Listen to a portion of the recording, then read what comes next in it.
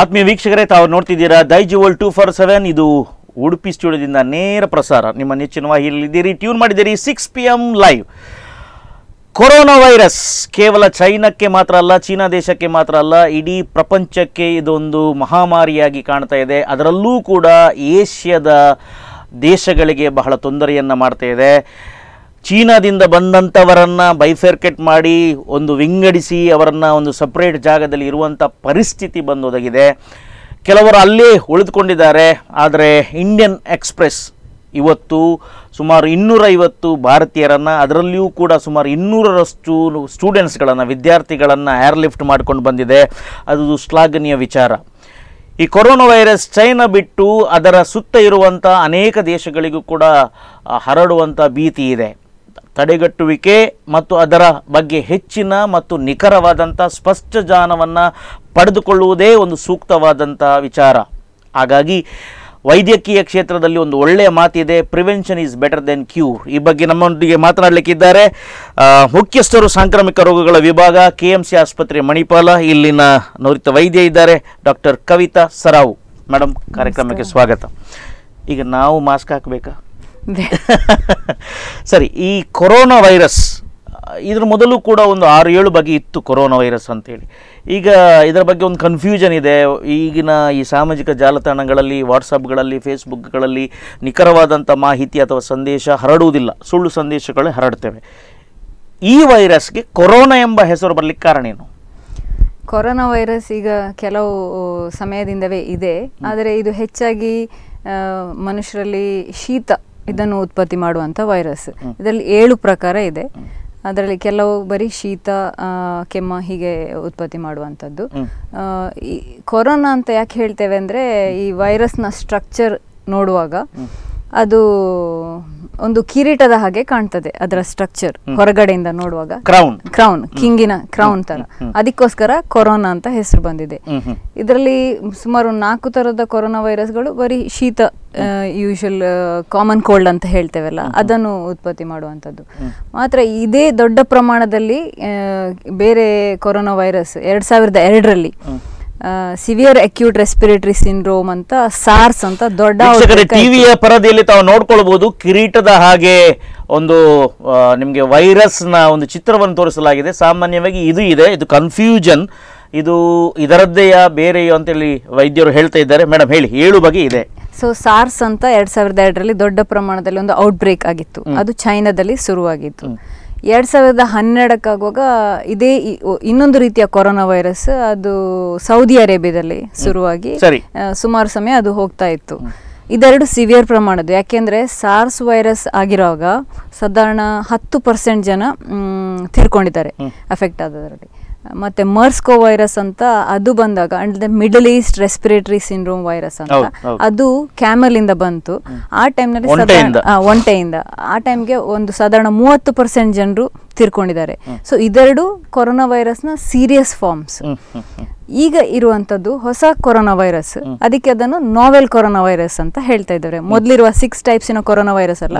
ಇದರದ್ದು ಈಗ manifestation clean ಇದು ತೊಂದರೆಗಳೆಲ್ಲ ಸ್ವಲ್ಪ ಡಿಫ್ರೆಂಟ್ ಇದೆ. ಸೊ ಅದಕ್ಕೋಸ್ಕರ ಇದು ಮೊದಲಿದ್ದ ಯಾವ ಕೊರೋನಾ ವೈರಸ್ನ ಥರನೂ ಅಲ್ಲ ಸ್ವಲ್ಪ ಡಿಫ್ರೆಂಟ್ ಹೊಸ್ತು ಅದಕ್ಕೆ ಇದಕ್ಕೆ ಹೆಸರು novel corona novel corona okay ಸರಿ.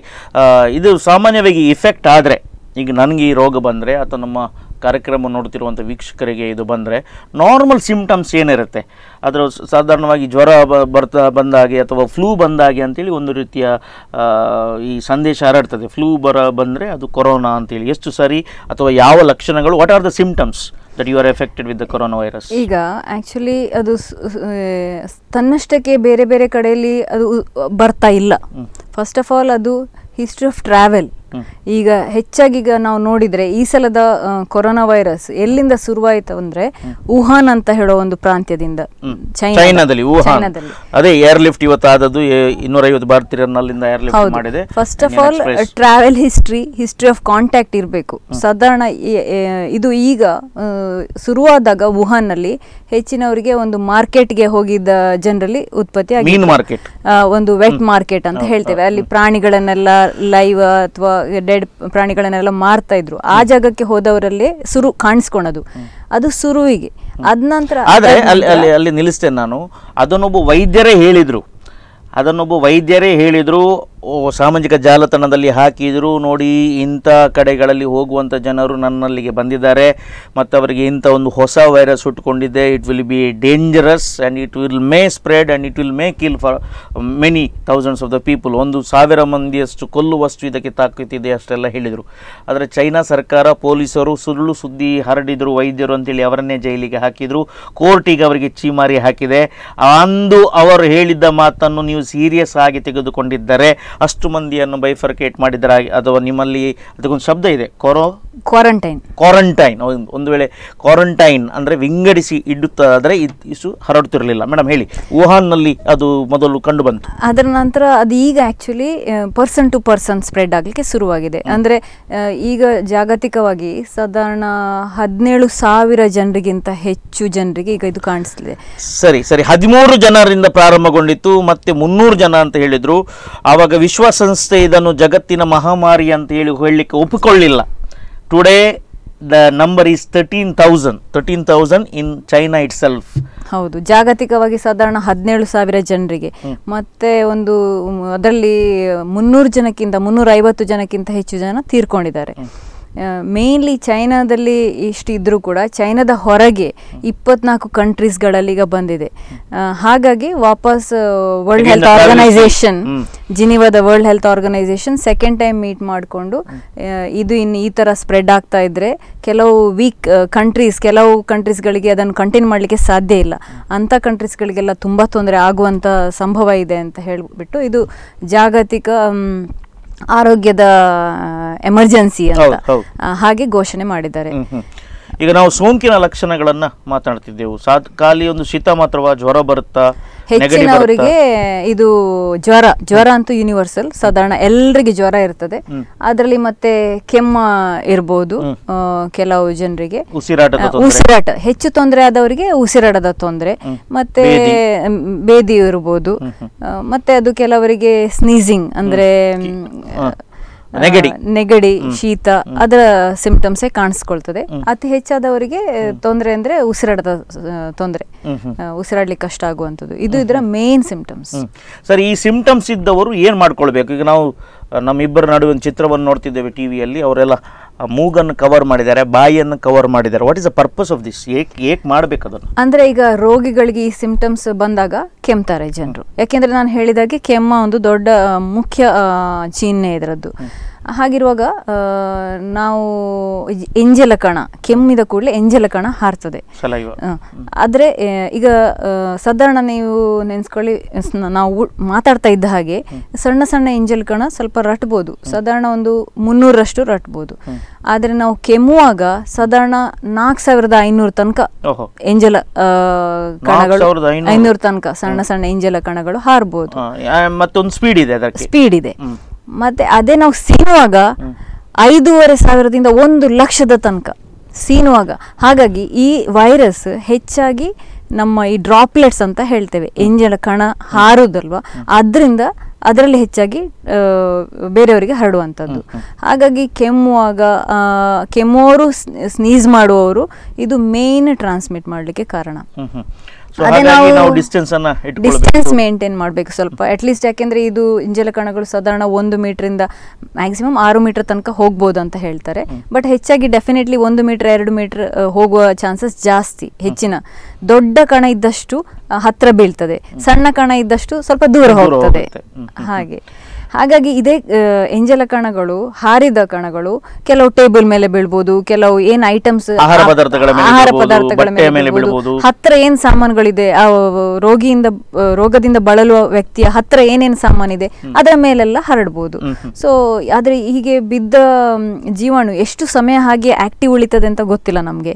ಹಾಗೆ ಅದನ್ನು ಮುಟ್ಟಿದ ಇನ್ನೊಬ್ಬರು ಮನುಷ್ಯರಿಗೆ ಕೂಡ ಇದು ಹರಡುವ ಚಾನ್ಸಸ್ ಈಗ ಎಚ್ ಐ ವಿ ವೈರಸ್ ಏನಿದೆ ಅದು ಹೊರಗಿಟ್ಟ ಕೂಡಲೇ ಅದು ಸಾಯ್ತಾರೆ ಅದು ಹೆಚ್ಚು ಸಮಯ ಬದುಕುಳಿಯುವುದಿಲ್ಲ ಆದರೆ ಇದರ ಇನ್ನೂ ಕೂಡ ಸ್ಟಡೀಸ್ ಎಷ್ಟು ಹೊತ್ತು ಉಳಿಬಹುದು ಎನ್ವೈರನ್ಮೆಂಟ್ ಅಲ್ಲಿ ಅದೆಲ್ಲ ನಮಗೆ ಸರಿಯಾಗಿ ಗೊತ್ತು ಸರಿ ಮೇಡಮ್ ಈಗ ಈ ಪ್ರತಿ ಎರಡು ವರ್ಷಕ್ಕೊಮ್ಮೆ ಒಂದಲ್ಲ ಒಂದು ವೈರಸ್ ಬರುತ್ತೆ. ನೀವು ಹೇಳಿದ್ರಿ ಸಾರ್ಸ್ ಹೇಳಿದ್ರಿ ಅಥವಾ ರೋಗಗಳನ್ನು ಹೇಳೋದಾದರೆ ಇಬೋಲಾ ಹೇಳ್ಬೋದು ಅಂತ್ರಾಕ್ಸ್ ಇರ್ಬೋದು ಎಚ್ ಒನ್ ಎನ್ ಒನ್ ಇರ್ಬೋದು, ಅಥವಾ ಹೋದ ವರ್ಷ ನಮಗೆ ಕಾಡಿದ್ದು ಕೇರಳದಿಂದ ನಿಫಾ ಬ್ಯಾಟ್ ಬಾವುಲಿಂದ ಬಂದಂಥ ರೋಗ ಕಾಣ್ಬೋದು. ಒಂದು ಅನಿಸ್ತದ ನಮಗೆ, ನಿಮಗೆ ಎಲ್ಲಿಯಾದರೂ. ಈ ವೈದ್ಯಕೀಯ ಜಗತ್ತನ್ನು ಹೊರಬಂದು ಸಾಮಾನ್ಯ ಮನುಷ್ಯರಾಗಿ ನೀವು ಯೋಚನೆ ಮಾಡಿಕೊಂಡಾಗ ನಾವು ಪ್ರಕೃತಿಯ ವಿರುದ್ಧ ಹೋಗ್ತಿದ್ದೇವೆ, ಹಾಗಾಗಿ ಪ್ರಕೃತಿ ನಮ್ಮ ವಿರುದ್ಧ ಬರ್ತಾ ಇದೆ ಅಂತೇಳಿ. ಒಂದು ಕೇವಲ ಮನುಷ್ಯ ಜಾತಿ ಮಾತ್ರ ಇನ್ಕ್ರೀಸ್ ಆಗ್ತಾ ಇದೆ, ಹೆಚ್ಚು ಆಗ್ತಾ ಇದೆ. ಪ್ರಾಣಿಗಳು ಕಡಿಮೆ ಆಗ್ತಿದ್ದಾರೆ ಆದರೆ ಈ ವೈರಸ್ಗಳೆಲ್ಲ ಪ್ರಾಣಿಗಳಿಂದ ಬರ್ತದೆ ಅಂತ ಹೇಳಿ ನಮಗೊಂದು ರೀತಿಯ ಕಾತರ ಹಂದಿಯಿಂದ ಬಂತು ಅಂತ ಹೇಳಿ ಒಂದು ಲಕ್ಷಕ್ಕಿಂತ ಜಾಸ್ತಿ ಹಂದಿಗಳನ್ನು ಚೈನಾದಲ್ಲಿ ನಿನ್ನೆ ತಾನೇ ಗುಂಡಿಗೆ ಹಾಕಿ ಮುಗಿಸ್ಬಿಟ್ರು.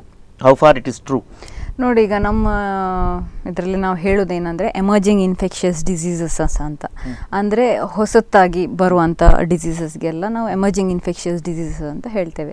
ಅಥವಾ ಕೆಲವು ಮೊದಲಿನ ಟೈಮ್ನಲ್ಲಿ ಇದ್ದು ಮತ್ತು ಈಗ ಸದ್ಯ ಕಾಲದಲ್ಲಿ ಇಲ್ಲದೆ ವಾಪಸ್ ಬರಲಿಕ್ಕೆ ಶುರುವಾದದಂತಕ್ಕೆ ರೀ ಎಮರ್ಜಿಂಗ್ ಇನ್ಫೆಕ್ಷಸ್ ಡಿಸೀಸ್ ಅದು ಕೂಡ ಇದೆ, re-emerging ಎಮರ್ಜಿಂಗ್ ಅಂತ. ಅಂದರೆ ಮೊದ್ಲೀಗ ಇತ್ತು ಸ್ವಲ್ಪ ಸಮಯ ಮತ್ತೆ ಮತ್ತೀಗ ವಾಪಸ್ ಕಾಣಿಸದೇ ಆಯಿತು. ಕೆಲವು ಸಮಯ ಮತ್ತೆ ವಾಪಸ್ ಬರುವಂಥದ್ದು. ಮರುಕಳಿಕೆ.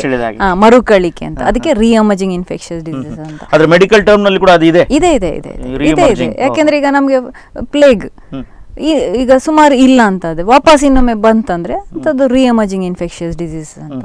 ಸೊ ಇದಕ್ಕೆಲ್ಲ ನಾವು ಕಾರಣ ನೋಡಿದ್ರೆ ಒಂದು ಈಗ ಈಗ ಏನ ಏನಾಗ್ತಾ ಇದೆ ಅಂದ್ರೆ ತುಂಬಾ ಟ್ರಾವೆಲ್. ಈಗ ಒಂದು ಕಡೆ ಇದ್ದದ್ದು ಮೊದಲೆಲ್ಲ ಇಷ್ಟು ಬೇಗ ಇನ್ನೊಂದು ಕಡೆಗೆ ಹರಡುವ ಚಾನ್ಸ್ ಇರಲಿಲ್ಲ. ಆದ್ರೆ ಈಗ ಏನಾಗಿದೆ ಈಗ.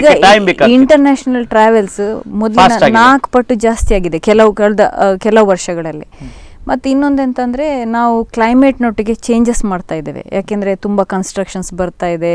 ನಮಗೆ ಮನುಷ್ಯರು ಇರುವ ಲ್ಯಾಂಡ್ ಸಾಕಾಗ್ತಾ ಇಲ್ಲ. ಹೋಗಿ ಹಾಗಾಗಿ ನಾವು ಫಾರೆಸ್ಟನ್ನು ಕಡಿತಾ ಇದ್ದೇವೆ. ಸೊ ಅಲ್ಲಿರುವ ಪ್ರಾಣಿಗಳು ಮತ್ತು ಮನುಷ್ಯರ ಇರುವ ಇದಕ್ಕೆ ಹೆಚ್ಚು ಇಂಟ್ರಾಕ್ಷನ್ಸ್ ಆಗ್ತದೆ. ಸೊ ಕೆಲವೆಲ್ಲ ವೈರಸ್ಗಳೆಲ್ಲ ಹೆಚ್ಚಿನ ವೈರಸ್ಗಳು ಮನುಷ್ಯರಿಗೆ ಈ ಪ್ರಾಣಿಗಳಿಂದ ಬರುವಂಥದ್ದು. ಅವುಗಳು ಪ್ರಾಣಿಗಳಲ್ಲಿ ಕ್ವೈಟ್ ಆಗಿರ್ತದೆ, ಕೆಲವು ವೈರಸ್ಗಳು ಆದರೆ ಮನುಷ್ಯರು ಪ್ರಾಣಿಗಳ ಹತ್ತಿರ ಹೋದಾಗ ಮನುಷ್ಯರಿಗೆ ಪ್ರಾಣಿಗಳಿಂದ ಬರುವ ಚಾನ್ಸ್ ಜಾಸ್ತಿ. ಇದೇ ರೀತಿಯಾಗಿ ಅರವತ್ತರಿಂದ ಎಪ್ಪತ್ತು ಪರ್ಸೆಂಟ್ ಎಮರ್ಜಿಂಗ್ ಇನ್ಫೆಕ್ಷಸ್ ಡಿಸೀಸ್ ಅಂತ ಹೇಳೋದು ಪ್ರಾಣಿಗಳಿಂದ ಬರುವಂಥದ್ದು ಅದಕ್ಕೇನೆ ಒಂದು ಹೆಸರಿದೆ ಝೂನೋಸಿಸ್ ಅಂತ. ಝೂನೋಸಿಸ್ Zoonosis ಅಂದ್ರೆ? ಝೂನೋಸಿಸ್ ಅಂದ್ರೆ ಝೂ ಅಂದ್ರೆ Zoo ಅಂದ್ರೆ ಪ್ರಾಣಿಗಳ ಸಂಗ್ರಹಾಲಯ. ಝೂನೋಸಿಸ್ ಪ್ರಾಣಿಗಳಿಂದ ಬರುವ ರೋಗಗಳಿಗೆ ನಾವು ಝೂನೋಸಿಸ್ ಅಂತ ಹೇಳ್ತೇವೆ. ಸೊ ಸಾಧಾರಣ ಅರವತ್ತರಿಂದ ಎಪ್ಪತ್ತು ಪರ್ಸೆಂಟ್ ನಮ್ಮ ಎಮರ್ಜಿಂಗ್ ಇನ್ಫೆಕ್ಷಸ್ ಡಿಸೀಸ್ ಎಲ್ಲ ಈ ಝೂನೋಸಿಸ್ ಆಗಿ ಬರುವಂತದ್ದು ಪ್ರಾಣಿ ಪಕ್ಷಿಗಳು ಪ್ರಾಣಿ ಪಕ್ಷಿಗಳನ್ನು ನಮ್ಮ ಇಂಟರಾಕ್ಷನ್ಸ್ ಹೆಚ್ಚಾಗಿ ಅಥವಾ ಈಗ ಹೆಚ್ಚೆಚ್ಚು ಆಕ್ಟಿವಿಟೀಸ್ ಫಾರೆಸ್ಟ್ ಹತ್ರ ಹೋಗಿ ನಾವೇನಾದ್ರೂ ಮಾಡ್ಲಿಕ್ಕೆ ಹೋದ್ರೆ ಅಥವಾ ಮನುಷ್ಯರು ಕೂಡ ರಿಕ್ರಿಯೇಷನ್ ಅಂತ ಫಾರೆಸ್ಟ್ಗೆ ಹೋಗ್ತಾರೆ. ರಿಕ್ರಿಯೇಷನ್ ಅಂತ. ಟ್ರೆಕ್ಕಿಂಗ್ ಅಂತ Bird ಹೋಗ್ತಾರೆ. ಅಂತ ಕೆಲಸಗಳು ಮಾಡಿದವರಿಗೂ ಇಂಥದ್ದೆಲ್ಲ ತೊಂದರೆಗಳು ಜಾಸ್ತಿ. ಅಥವಾ ಈ ಆನಿಮಲ್ಸ್ಗಳನ್ನು ತಿನ್ನುವಂಥದ್ದು. ಅದರಿಂದಾಗಿ ಹಾ ರಾ ತಿನ್ನುವಂಥದ್ದು. ಬೇಯಿಸಿ ಆದರೂ ಒಂದು ರೀತಿಯಲ್ಲಿ ಡಿಫ್ರೆಂಟ್ ಬಟ್ ಕೆಲವೆಲ್ಲ ಹಾಫ್ ಕುಕ್ಡ್ ಅಂಥದ್ದು ತಿನ್ನೋದ್ರಿಂದ ಅಂಥದ್ದು ಕೆಲವು ರೋಗಗಳು ಬರ್ಬೋದು. ಅಥವಾ ಈಗ ಕ್ಲೈಮೇಟ್ ಚೇಂಜ್ ಮಳೆ ಬರೋದಕ್ಕೆ ಟೈಮ್ ಅಂತಿಲ್ಲ. ಅಂಥ ಟೈಮ್ನಲ್ಲಿ ಕೂಡ ಫ್ಲಡ್ ಒಂದು ಫ್ಲಡ್ ಆಗೋದು. ಅತಿರೇಕ ಆದ್ರೆ ಕೆಲವು ಕಾಯಿಲೆಗಳು ಹೆಚ್ಚು ಬರ್ತದೆ. ಸೊ ಹೀಗೆಲ್ಲ ಎಲ್ಲೋ ಪ್ರಕೃತಿ ನಮ್ಮ ಮೇಲೆ ಮುನಿಸಿಕೊಂಡಿದ್ದಾರೆ. ಕ್ಷಮ ದರಿತ್ರಿ ಎಂಬುವಳು ನಮ್ಮನ್ನು ಮುನಿಸಿಕೊಟ್ಟಿದ್ದಾರೆ. ಆದರೆ ನಾವು ಬದುಕಬೇಕಾಗದ್ದೆ. ಇದು ಎಷ್ಟು ಮಾರಣಾಂತಿಕ? Corona virus. Corona virus. ಅದೇ ನಾನು? ಹೇಳಿದಾಗೆ ಮೊದಲಿನ ಕೊರೋನಾ ವೈರಸ್ನಲ್ಲಿ ಈಗ ಸಾರ್ಸ್ ಕೊರೋನಾ ಸಾರ್ಸ್ ವೈರಸ್ ಬಂದಿದ್ದಾಗ ಅದರಲ್ಲಿ ರೋಗದಿಂದ ಬಳಲಿದ ಒಂದು ಸಾಧಾರಣ ಹತ್ತು ಪರ್ಸೆಂಟ್ ಜನರಿಗೆ ತೊಂದ್ ಮರಣ ಆಗಿದೆ. Middle east respiratory syndrome virus ಅಂತ ಹೇಳಿದರೆ ಅದರಲ್ಲಿ ಸೌದಿ ಅರೇಬಿಯಾದಲ್ಲಿ ಬಂದಾಗ ಸಾಧಾರಣ ಮೂವತ್ನಾಲ್ಕು ಪರ್ಸೆಂಟ್ ಜನರು ಕೂಡ ಮರಣವನ್ನು ಅಪ್ಪಿದ್ದಾರೆ. ಆದರೆ ಅಟ್ಲೀಸ್ಟ್ ಈಗ ಈ ನಾವೆಲ್ ಕೊರೋನಾ ವೈರಸ್ ಇಂದ ಸಾಧಾರಣ ನಾವು ನೋಡಿದ್ರೆ ಹದಿನೇಳು ಸಾವಿರ ಜನರಿಗೆ ಈಗ ಬಂದಿದೆ. ಅದರಲ್ಲಿ ಮುನ್ನೂರ ಐವತ್ತು ಜನ ಮರಣಕ್ಕೆ ಈಡಾಗಿದ್ದಾರೆ. ಅಂದ್ರೆ ಸಾಧಾರಣ ಎರಡು ಪ್ರತಿಶತ. ನೂರು ಜನರಿಗೆ ಕೊರೋನಾ ವೈರಸ್ ಬಂದ್ರೆ ಎಷ್ಟು ಸಾಂಕ್ರಾಮಿಕ ಇದು ಕಂಜಕ್ಟಿವೈಸಸ್ ಅಂದ್ರೆ ಒಬ್ಬರಿಂದ ಒಬ್ಬರು ಎಷ್ಟು ಫಾಸ್ಟ್ ಹರಡ್ತದೆ? ಹರಡುದು ಕಂಟೇಜಿಯಸ್ ಎಷ್ಟು ಕಂಟೇಜಿಯಸ್ ಅಂದ್ರೆ ಈಗ ನಾನು ನಿಮಗೆ ಒಂದು ಎಕ್ಸಾಂಪಲ್ ಕೊಡೋದಾದ್ರೆ ನಮ್ಮ ಫ್ಲೂ ನಾವು ಎಚ್ ಒನ್ ಎನ್ ಒನ್ ಅಂತ ಹೇಳ್ತೇವೆ. ಇದು ಪ್ರತಿ ವರ್ಷ ಈಗ ನಮಗೆ ಸಾಧಾರಣ ಈ ವಿಂಟರ್ ಸೀಸನ್ ಅಲ್ಲಿ ನವೆಂಬರ್ ಡಿಸೆಂಬರ್ನಲ್ಲಿ ಆ, ಅದು ಸಾಧಾರಣ ಒಬ್ಬರಿಗೆ ಬಂದ್ರೆ ಸಾಧಾರಣ ಯೂಶ್ವಲಿ ಒಂದು ಒಂದು ಜನ ಒಂದೂವರೆ ಎರಡು ಜನರಿಗೆ ಮಟ್ಟಿಗೆ ಅಷ್ಟು ಹರಡ್ಬೋದು ಸಾಧಾರಣ. ಸಾಧಾರಣ ಸಾಧಾರಣ ಒಂದು ಫ್ಲೂ ಒಬ್ಬರಿಗೆ ಬಂದರೆ ಅದು ಇನ್ನೊಬ್ಬರಿಗೆ ಹರಡುವಂಥದ್ದು ಸಾಧಾರಣ. ಹಾಗಾಗಿ ಈ ಕೊರೋನಾ ವೈರಸ್ ಅದಕ್ಕಿಂತ ಸ್ವಲ್ಪ ಜಾಸ್ತಿ. ಯೂಶುವಲ್ ಫ್ಲೂಗಿಂತ ಸ್ವಲ್ಪ ಜಾಸ್ತಿ ಕಂಟೇಜಿಯಸ್ ಅದೇ ಹೇಳಿದ್ರೆ ನಮ್ಗೀಗ ಮೀಸಲ್ಸ್ ದಡಾರ ಎಲ್ಲ ಇದೆ. ಅದು ಇನ್ನೂ ಅತಿ ಇನ್ನೂ ಅತಿ ಕಂಟೇಜಿಯಸ್ ಅದರಷ್ಟು ಕಂಟೇಜಿಯಸ್ ಚಿಕನ್ ಪಾಕ್ಸ್ ಮೀಸಲ್ಸ್ನಷ್ಟು ಕಂಟೇಜಿಯಸ್ ಅಲ್ಲ. ನಡುವೆ ಇದೆ. ನಡುವೆ ಇದೆ. ಫ್ಲೂಗಿಂತ ಹೆಚ್ಚು. ಫ್ಲೂಗಿಂತ ಹೆಚ್ಚು. ಚಿಕನ್ ಪಾಕ್ಸ್ ಗಿಂತ ಕಡಿಮೆ. ಆತ್ಮೀಯ ವೀಕ್ಷಕರೇ, ತಾವು ನೋಡ್ತಿದ್ದೀರಾ ಸಿಕ್ಸ್ ಪಿ ಎಂ ಲೈವ್ ನಾವು ಮಾತಾಡ್ತಿದ್ದೇವೆ ಕೊರೋನಾ ವೈರಸ್, ಅದು ಎಷ್ಟು ಮಾರಣಾಂತಿಕ ಮತ್ತು ನಾವು ಅದರಿಂದ ಬಚಾವಾಗುವುದು ಹೇಗೆ ಹೇಗೆ ಯಾವೆಲ್ಲ ಉಪಕ್ರಮಗಳನ್ನು ತೆಗೆದುಕೊಂಡ್ರೆ ಈ ವೈರಸನ್ನು ನಮ್ಮಿಂದ ದೂರ ಇಟ್ಕೊಳ್ಳಬಹುದು ಅಥವಾ ನಾವು ಅದನ್ನು ದೂರ ಇಟ್ಕೊಳ್ಳಬಹುದು ಎಂಬುದಾಗಿ ನಮ್ಮೊಂದಿಗೆ ಇದ್ದಾರೆ ಕವಿತಾ ಸರಾವು, ಮುಖ್ಯಸ್ಥರು ಸಾಂಕ್ರಾಮಿಕ ರೋಗಗಳ ವಿಭಾಗ ಕೆ ಎಂ ಸಿ ಆಸ್ಪತ್ರೆ, ಮಣಿಪಾಲ. ಇದು ಯಾಕೆ ಇಷ್ಟು ಜಗತ್ತಿನ ಯು ಎನ್ ಇದರಲ್ಲಿ ಇನ್ವಾಲ್ವ್ ಆಗಿದೆ?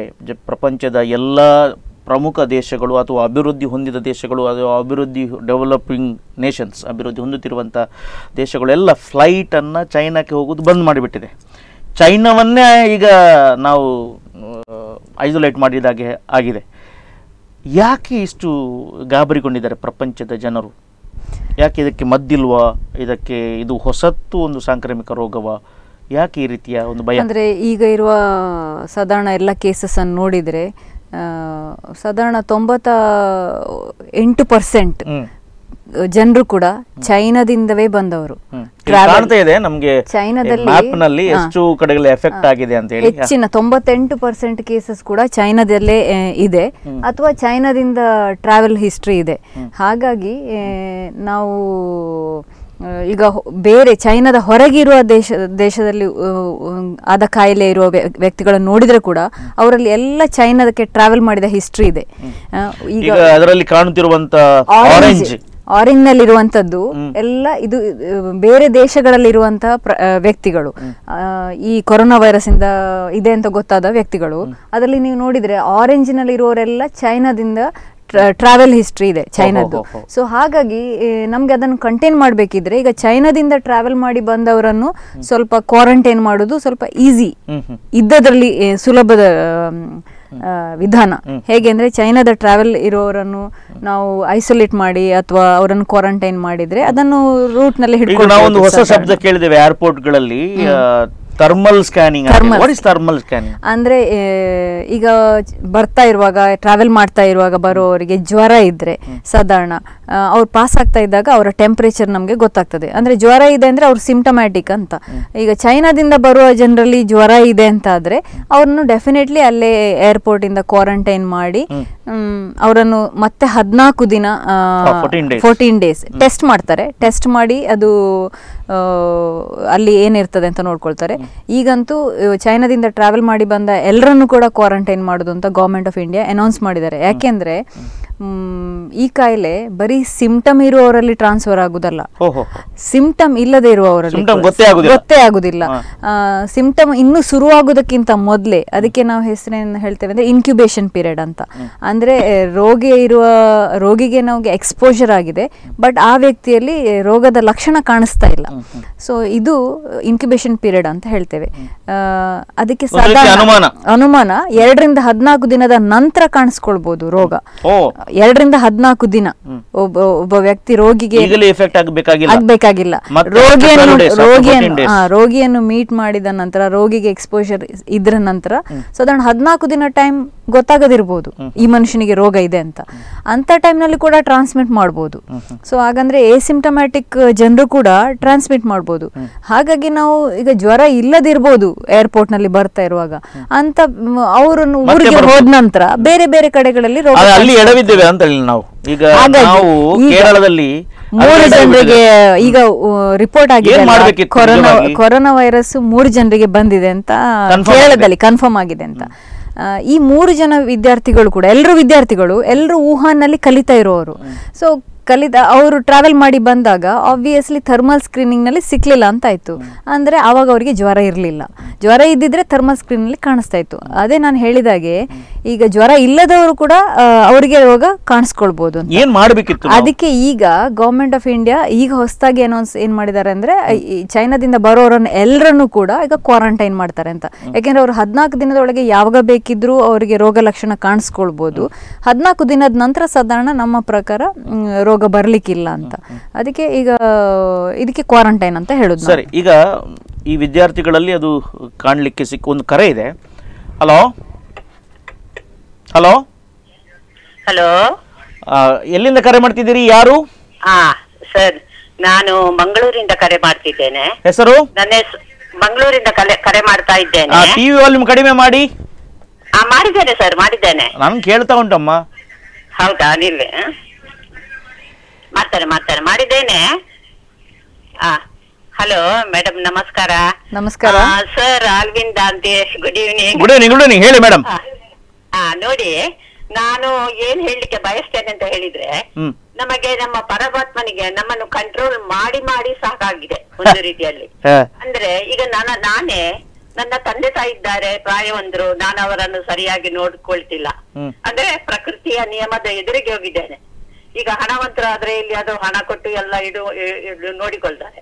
ಆದ್ರೆ ನನ್ನ ತಂದೆ ತಾಯಿಯನ್ನು ನಾನು ನೋಡಿ ನೋಡಿಕೊಳ್ಳುವ ನನ್ನ ಕರ್ತವ್ಯ. ಇಟ್ ಈಸ್ ಅಗೇನ್ಸ್ಟ್ ದ ಪ್ರಕೃತಿ. ಮತ್ತೆ ನನಗೆ ನಾಲ್ಕು ಮಕ್ಕಳಿದ್ದಾರೆ. ಆದ್ರೆ ನಾನೆಂತ ಮಾಡ್ತೇನೆ? ಇನ್ನೊಂದು ಗಂಡಸೊಟ್ಟಿಗೆ ಹೋಗಿ ಹೋಗಿ ಇದು ಮಾಡ್ತೇನೆ. ಅಲ್ಲ? ಆದ್ರೆ ಆ ಗಂಡ ಆಗ ಮಕ್ಕಳು ಕೊರಗ್ತಾರೆ ಆ ಹೆಂಡತಿ ಸಹ ನೋಡಿ ಹೆಂಡತಿ ಕರ ಹೋಗುದು ಹೆಂಡತಿ ಮಾಡುದು. ಆದ್ರೆ ಇದು ಸಹ ಪ್ರಕೃತಿಯ ನಿಯಮ ಎದುರಿಗೆ ಉಂಟು. ಸರಿ. ಎಲ್ಲ ನೋಡಿ ನಮ್ಮ ಜೀವನ ಶೈಲಿ ನೋಡಿ. ನಾವು ನಾಗಿ ಪ್ರತಿಯೊಬ್ಬರು ನಮ್ಮ ಜೀವನ ಶೈಲಿ ನೋಡಿ. ನಮ್ಮ ಮಕ್ಕಳನ್ನ ಅದು ಸರಿಯಾಗಿ ನೋಡಿಕೊಳ್ತೇವ. ಅದು ಒಂದು ಇದು. ಒಟ್ಟಾರೆ ಒಟ್ಟಾರೆಯಾಗಿ ನೀವು ಹೇಳ್ತಿರುವಂತದ್ದು ನಾವು ಪ್ರಕೃತಿಯ ವಿರುದ್ಧ ಹೋದುದರಿಂದ ಪರಮಾತ್ಮ ಇಂಥ ವೈರಸ್ಗಳ ಮೂಲಕ ಒಂದು ಎಚ್ಚರಿಕೆ ಗಂಟೆಯನ್ನ ಕೊಡ್ತಾ ಇದ್ದಾನೆ. ಹೌದೌದು. ಅಂದ್ರೆ ನಮ್ಮ ಜೀವನ ಶೈಲಿ ಫಸ್ಟ್ ಸರಿಯಾಗ್ಬೇಕು ಎಲ್ಲ ಕಡೆಯಿಂದ. ಲೈಫ್ ಸ್ಟೈಲ್ ಅಲ್ಲಲ್ಲ ನಮ್ಮ ನಮ್ಮ ಲೈಫ್ ಸ್ಟೈಲ್ ಅಂದ್ರೆ ಲೈಫ್ ಸ್ಟೈಲ್ ನಾವು ಸ್ಟೈಲ್ ಮಾಡ್ಬೇಕಂತಲ್ಲ ದೊಡ್ಡ ದೊಡ್ಡ ಲೈಫ್ ಸ್ಟೈಲ್ ಅಂದ್ರೆ ಜೀವನ ನಾವು ಮಾಡುವಂತ ರೀತಿ ಜೀವಿಸುವ ರೀತಿ. ಜೀವನ ಶೈಲಿ ಅಂತ ತಂದೆ ತಾಯ ನೋಡಿಕೊಳ್ಳೋದು ಮಕ್ಕಳನ್ನು ಸರಿ ನೋಡಿಕೊಳ್ಳೋದು ನಮ್ಮ ಇದು ನಮ್ಮ ಎಂತ ಆದ್ರೆ ಮೇಡಮ್ ನಿಮ್ಮ ಮಾತನ್ನು ವೈದ್ಯರು ಒಪ್ತಾರ ಸೈಂಟಿಸ್ಟ್ಗಳು ಇದನ್ನೆಲ್ಲ ಒಪ್ಕೊಳ್ಳೋದಿಲ್ಲ. ನಿಮ್ಮ ಪುರಾಣಗಳನ್ನ ನಮ್ಮ ತತ್ವಗಳನ್ನ ಫಿಲಾಸಫಿಗಳನ್ನ ಪುರಾಣಗಳನ್ನು ಒಪ್ಪಿಕೊಳ್ಳೋದಿಲ್ಲ. ಆದ್ರೆ ನಾವು ನಮಗೆ ಬೇಕಾದಾಗೆ ಅಂತ ದೇವರನ್ನೇನು ಹೇಳಲಿಲ್ಲಲ್ಲ ಸರಿ ಮೇಡಮ್ ಮೇಡಮ್ ಹೇಳಿ ಹೇಳಿ ಉತ್ತರ ಕೊಡಿ. ಸರಿ ಕರೆ ಮಾಡಿದಕ್ಕೆ ಧನ್ಯವಾದ. ಹೇಳಿ ಇವರ ಉತ್ತರ ಕೊಡಿ ಇದು ಆಕ್ಚುಲಿ ಕೊರೋನಾ ವೈರಸ್ ಅಂದ್ರೆ ವೈರಸ್ ಅದು ಆ, ಅಂದ್ರೆ ಆನಿಮಲ್ ಇಂದ ಬಂದಿರಬಹುದು ಈಗಿನ ನಾವೆಲ್ ಕೊರೋನಾ ವೈರಸ್ ಹೇಗೆ ಬಂದಿದೆ ಅಂತ ನಮ್ಗೆ ಇನ್ನೂ ಗೊತ್ತಾಗ್ಲಿಲ್ಲ. ಅದಕ್ಕೆ ಸೈಂಟಿಸ್ಟ್ ಗಳೆಲ್ಲ ನೋಡ್ತಾ ಇದ್ದಾರೆ. ಯಾವ ಸೋರ್ಸ್ನಿಂದ ಬಂದದಿರ್ಬೋದು ಅಂತ ಹುಡುಕ್ತಾ ಇದ್ದಾರೆ. ಬಟ್ ಡೆಫಿನೆಟ್ಲಿ ನಾವು ನಮ್ಮ ಸಾಕು ಪ್ರಾಣಿಗಳಿವೆ ಮೇಡಮ್ ಸಾಕು ಪ್ರಾಣಿಗಳು ಈಗ ನಮ್ಮ ಪ್ರಾಣಿ ಹತ್ರ ಹೋಗ್ಬೋದು ಆದ್ರೆ ಮನುಷ್ಯ ಇಲ್ಲಿ ಹೋಗುದಿಲ್ಲ. ಆದ್ರೆ ನಾಯಿ ಬೆಕ್ಕಿನಿಂದೆಲ್ಲ ಬರ್ತದೆ ಅಂತ ಯಾವ ಎವಿಡೆನ್ಸ್ ಕೂಡ ಇಲ್ಲ. ಬಟ್ ಎನಿವೆ ಯಾವುದೇ ಆದ್ರೂ ನಮ್ಮ ಸಾಕು ಪ್ರಾಣಿಗಳನ್ನು ನಾವು ಮುಟ್ಟಿದ್ರೆ ಅದನ್ನು ಚೆನ್ನಾಗಿ ಅದರ ನಂತರ ನಾವು ಕೈ ತೊಳ್ಕೊಂಡೇ ಬೇರೆ ನೆಕ್ಸ್ಟ್ ನಮ್ಮ ಕೆಲಸಗಳು ಮಾಡುದು ಒಳ್ಳೇದು. ಯಾವುದೇ ವಿಷಯದಿಂದ ಸಾಕು ಪ್ರಾಣಿಗಳನ್ನು ಮುಟ್ಟಿದ್ರೆ ಈಗ ಎವಿಡೆನ್ಸ್ ಇಲ್ಲ ಪರ್ಸನಲ್ ಹೈಜಿನಿಕ್ ಮತ್ತು ನಮ್ಮ ಸುತ್ತಮುತ್ತ ಸ್ವಚ್ಛತೆ ಇಟ್ಕೊಳ್ಬೇಕು. ಅದು ಸಾಂಕ್ರಾಮಿಕ ರೋಗ ಇರಲಿ ವೈರಸ್ ಇರಲಿ ಇಲ್ಲದೇ ಇರಲಿ ಅದು ಒಂದು ದೈನಂದಿನ ಕರ್ತವ್ಯದ ಹಾಗೆ ಪ್ರಾಣಿಗಳನ್ನು ಮುಟ್ಟಿದ ಮೇಲೆ ಕೂಡಲೇ ಕೈಯನ್ನ ತೊಳೆದುಕೊಳ್ಳಬೇಕು. ಸರಿ. ಈಗ ಈ ರೋಗ ಹರಡುವುದು ಖಾಲಿ ವಯೋವೃದ್ಧರಿಗೆ ಮಾತ್ರವಾ ಅಥವಾ ಇಮ್ಯುನೋ ಸಿಸ್ಟಮ್ ರೋಗ ನಿರೋಧಕ ಶಕ್ತಿ ಕಡಿಮೆ ಆದವರಿಗೆ ಮಾತ್ರವಾ? ಅಥವಾ ನೀವು ಹೇಳಿದ್ರಿ ವಿದ್ಯಾರ್ಥಿಗಳಿಗೆ ಇದು ತಾಗಿದೆ ವುಹಾನ್ನಲ್ಲಿ ಅಂತ ಹೇಳಿ ಸಾಮಾನ್ಯವಾಗಿ ನಡು ವಯಸ್ಕರಿಗೆ ಮಾತ್ರವಾ? ಅಥವಾ ಸಣ್ಣ ಮಕ್ಕಳಿಗೆ ಕೂಡ ಇದು ಯಾರಿಗಿದು ಬೇಗ ಸ್ಪ್ರೆಡ್ ಆಗುತ್ತೆ?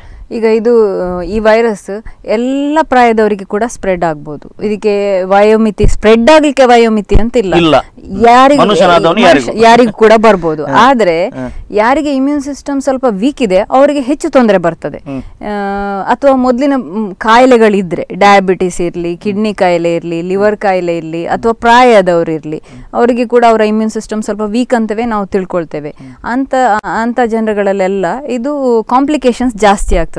ಯಾವ ಕಾಂಪ್ಲಿಕೇಶನ್ಸ್ ಕೊರೋನಾ ವೈರಸ್ ಇಂದ ಬರ್ತದೆ ಅಂದ್ರೆ ಈಗ ಸಿವಿಯರ್ ನಿಮೋನಿಯಾ ಆಗ್ಬೋದು ನಿಮೋನಿಯಾ ಸಿವಿಯರ್ ಆಗ್ಬೋದು ಅಥವಾ ರೆಸ್ಪಿರೇಟರಿ ಫೇಲಿಯರ್ ಆಗ್ಬೋದು ಹಾರ್ಟ್ ತೊಂದರೆ ಬರ್ಬೋದು ಕಿಡ್ನಿ ಫೇಲಿಯರ್ ಆಗ್ಬೋದು ಇದೆಲ್ಲ ಮಾರಣಾಂತಿಕ ಆಗಿ ಬಿಡ್ತದೆ ಸೊ ಪ್ರಾಯದವರಲ್ಲಿ ಅಥವಾ ಎಕ್ಸ್ಟ್ರೀಮ್ಸ್ ಆಫ್ ಏಜ್ ತುಂಬ ಮಕ್ ಅತಿ ಚಿಕ್ಕ ಮಕ್ಕಳು ಮಕ್ಕಳಿರ್ಬೋದು ಅಥವಾ ಅತಿ ಪ್ರಾಯದವರು ಇರ್ಬೋದು ಅಥವಾ ಈ ಕಾಯಿ ಕಾಯಿಲೆಗಳೆಲ್ಲ ಇರುವವರಿಗೆ.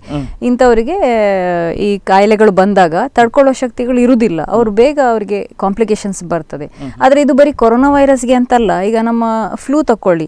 Influenza H one N one ಯಾವುದೇ ಕಾಯಿಲೆ ತಕೊಂಡ್ರು ಕೂಡ ಇಂಥ ಕಾಯಿಲೆಗಳಿರುವ ಜನರಿಗೆ ಹೆಚ್ಚು ತೊಂದರೆ ಬರ್ತದೆ. ಅಂತ ಈಗ ನೋಡಿದರೆ ಮಾರ್ಟಾಲಿಟಿ ನೋಡಿದರೆ ಈ ಸಲದ ಕೊರೋನಾ ವೈರಸ್ನಲ್ಲಿ ಹೆಚ್ಚಿನವರು ಪ್ರಾಯದವರಿಗೆ ಮಾರ್ಟಾಲಿಟಿ ಬಂದಿದೆ. ಅಂಥ ಪೇಷಂಟ್ಗಳು ಐ ಸಿ ಯುನಲ್ಲಿ ಇಟ್ಕೊಳ್ಬೇಕಾಗ್ತದೆ. ಅಂಥ ಪೇಷಂಟ್ಸ್ಗಳಿಗೆ ಹೆಚ್ಚು ಮಾರ್ಟಾಲಿಟಿ ಇದೆಲ್ಲ ನಮ್ಮ ಹೆಚ್ಚಾಗಿ ಈ ಥರದ ಇನ್ಫೆಕ್ಷಿಯಸ್ ಡಿಸೀಸ್ ಬಂದಾಗ ಇದೊಂದು ನಿಯಮವೇ ಅಂತ ಹೇಳ್ಬೋದು. ಸರ್, ಈಗ ನಾವಾಗಲಿ, ನೀವಾಗಲಿ ಚೈನಾಕ್ಕೆ ಹೋಗಲಿಲ್ಲ. ಅಥವಾ ಚೈನಾದಿಂದ ಬಂದವರೊಟ್ಟಿಗೆ ನಮಗೆ ಯಾವುದೇ ಸಂಪರ್ಕ ಇಲ್ಲ. ನಮಗೆ ಅದು ಇಫೆಕ್ಟ್ ಆಗ್ಬೋದಾ? ಅದು ಹರಡ್ಬೋದಾ? ಈಗ ಈಗಿನ ಪ್ರಕಾರ ಹೆಚ್ಚಿನವರು ತೊಂಬತ್ತೆಂಟು ಪರ್ಸೆಂಟ್ ಜನರಿಗೆ ಕೂಡ ಚೈನಾದ ಟ್ರಾವೆಲ್ ಹಿಸ್ಟ್ರಿ ಇದೆ. ಆದರೆ ಈಗ ಕೆಲವು ಬೇರೆ ಕಂಟ್ರೀಸ್ನಲ್ಲಿ ಕೂಡ ಸುಮಾರು ಬರಲಿಕ್ಕೆ ಶುರುವಾಗಿದೆ. ಫಾರ್ ಎಕ್ಸಾಂಪಲ್ ಹಾಂಗ್ಕಾಂಗ್ ಮತ್ತು ಸಿಂಗಾಪುರ್ ಥೈಲ್ಯಾಂಡ್ ಈ ಕಂಟ್ರೀಸ್ಗಳಲ್ಲಿ ಜಾಸ್ತಿನೇ ಇದೆ. ಅದು ಭಾರತಕ್ಕೆ ಟ್ರಾವೆಲ್ ಕೂಡ ಅಲ್ಲಿಂದ ಸ್ವಲ್ಪ ಇದೆ. ಹಾಗಾಗಿ ಚೈನಾಕ್ಕೆ ಮಾತ್ರ ಫೋಕಸ್ ಹೌದು. ಈ ಕಡೆಗೆ ಬಿಟ್ಟು ಹೌದು. ಹಾಗಾಗಿ ಈಗ ನಮ್ಮ ನಾವು ಇದರ ಬಗ್ಗೆ ಸ್ವಲ್ಪ ಜಾಗ್ರತೆ ಆಗಿರಬೇಕು ಬೇರೆ ಕಂಟ್ರೀಸ್ ಟ್ರಾವೆಲ್ ಕೂಡ. ಅದಕ್ಕೆ ಚೈನಾದಿಂದ ಬಂದವರನ್ನು ಡೆಫಿನೆಟ್ಲಿ ಕ್ವಾರಂಟೈನ್ ಮಾಡ್ತಾರೆ ನಮ್ಮ ಗೌರ್ಮೆಂಟ್ ಆಫ್ ಇಂಡಿಯಾ ಬಟ್ ಈಗ ಇನ್ನು ನಿಧಾ ನಿಧಾನಕ್ಕೆ ಇದು ಇನ್ನೂ ದೊಡ್ಡದಾಗಿ ಹೆಚ್ಚಾಗಿ ಹೋದ್ರೆ ಬೇರೆ ಕಂಟ್ರೀಸ್ ಇಂದ ಟ್ರಾವೆಲ್ ಮಾಡಿದ್ರೆ ಯಾವ ಕಂಟ್ರೀಸ್ನಲ್ಲಿ ಕೊರೋನಾ ವೈರಸ್ ಇದೆ ಆ ಕಂಟ್ರೀಸ್ ಇಂದ ಟ್ರಾವೆಲ್ ಮಾಡಿದ್ರು ಕೂಡ ನಾವು ಅದರ ಬಗ್ಗೆ ಜಾಗ್ರತೆ ಇಟ್ಕೊಂಡು ಕ್ವಾರಂಟೈನ್ ಮಾಡಬೇಕಾ ಬೇಡವಾ ಅಂತ ಹೇಳೋದು ನಮ್ಮ ಗೌರ್ಮೆಂಟಿನ ಡಿಸಿಷನ್ ಓಕೆ ಇಪ್ಪತ್ತಿಪ್ಪತ್ತರ ಮಹಾಮಾರಿ ಯಾಕಂದರೆ ಹೊಸ ವರ್ಷ ಎರಡನೇ ತಿಂಗಳು ನಾವು ಬಂದಿದ್ದೇವೆ. ಜನವರಿಯ ಎರಡನೇ ವಾರದಲ್ಲಿಯೇ ಕೊರೋನಾ ವೈರಸ್ನ ಬಗ್ಗೆ ಮಾತುಕತೆ ಚರ್ಚೆಯಾಗಿತ್ತು. ಈಗ ಅದು ತೀವ್ರಗೊಂಡಿದೆ. ಮೇಡಮ್ ಯಾರಿಗಾದರೂ ಇಫೆಕ್ಟ್ ಆದರೆ ಅದನ್ನು ಪತ್ತೆ ಹಚ್ಚೋದು ಹೇಗೆ ಈಗ? ಹೇಗೆ ಹೇಗೆ ನಾವು ಕಂಡುಹಿಡಿಯಬಹುದು ಅವನಿಗೆ ಆ ಕೊರೋನಾ ವೈರಸ್ ಇದೆ ಅಂತೇಳಿ ಅದೇ ನಾವು ಫಸ್ಟ್ ಆಫ್ ಆಲ್ ಹೀಗೆ ಯಾರಿಗಾದರೂ ಕೆಮ್ಮ ಶೀತ ಜ್ವರ ಇದ್ದವರಿಗೆ ಟ್ರಾವೆಲ್ ಹಿಸ್ಟ್ರಿ ಇದೆಯಾ ಅಂತ ಕೇಳ್ತೇವೆ. ಅಂದರೆ ಅದರ್ ದೆನ್ ಟ್ರಾವೆಲ್ ಹಿಸ್ಟ್ರಿ ಹದಿನಾಲ್ಕು ದಿನದಲ್ಲಿ ಟ್ರಾವೆಲ್ ಮಾಡಿದ ಹಿಸ್ಟ್ರಿ ಅದು ನಮಗೆ ಸ್ಟ್ರಾಂಗ್ ಒಂದು ಇಂಪಾರ್ಟೆಂಟ್ ಅಂತ ಪೇಷಂಟ್ಗಳು ಅವನೇ ಖುದ್ದು ಚೈನಾಕ್ಕೆ ವುಹಾನ್ ನಗರಕ್ಕೆ ಹೋಗಿರ್ಬೇಕಾ? ಅಥವಾ ನನ್ನ ಕೋ ಪ್ಯಾಸೆಂಜರ್ ಇದ್ದಾನೆ ಫ್ಲೈಟ್ ಹೌದು ಅದು ಹತ್ತಿರ ಪ್ಯಾಸೆಂಜರ್ಸ್ ಅದೇ ಪ್ಯಾಸೆ ಏರ್ಲೈನ್ ಅಲ್ಲಿ ಟ್ರಾವೆಲ್ ಮಾಡಿದ್ರು ಸಾಕು. ಸಾಧಾರಣ ಮೂರು ಏರ್ಪೋರ್ಟ್ನಲ್ಲಿ ಸಿಕ್ಕಿದ್ರು ಸಾಕು. ಒಂದು ಸ್ವಲ್ಪ ಹೊತ್ತು ಹತ್ತಿರ ಕಾಂಟ್ಯಾಕ್ಟ್ ಹತ್ತಿರ ಕಾಂಟ್ಯಾಕ್ಟ್ ಇದ್ರು. ಒಂದು ಕೆಲವು ನಿಮಿಷ ಮೂವತ್ತು ನಿಮಿಷಕ್ಕಿಂತ ಹೆಚ್ಚು ಹತ್ತಿರ ಕಾಂಟ್ಯಾಕ್ಟ್ ಇದ್ರೆ ಒಂದು ಮೀಟರ್ಗಿಂತ ಹತ್ತು ಕಾಂಟ್ಯಾಕ್ಟ್ ಇದ್ರು ಸಾಕು. ಅಂತ ಪೇಷಂಟ್ಗಳಿಗೆ ಈ ರೆಸ್ಪಿರೇಟ್ರಿ ಸಿಂಪ್ಟಮ್ಸ್ ಬಂದರೆ ನಾವು ಮತ್ತೆ ಅವ್ರಿಗೆ ಗಂಟ್ಲಿನಿಂದ ಒಂದು ಟೆಸ್ಟ್ ಸ್ಯಾಂಪಲ್ ತೆಗೆದು ವೈರಾಲಜಿ ಡಿಪಾರ್ಟ್ಮೆಂಟಿಗೆ ಕಳಿಸ್ತೇವೆ.